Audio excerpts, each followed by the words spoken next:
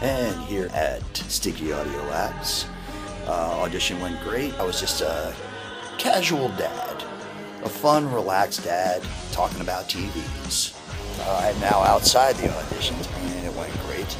Voiceover auditions are all over Manhattan, Irving Place, Flatiron District, Times Square, and uh, it's fun to go from one to the other and see some colleagues.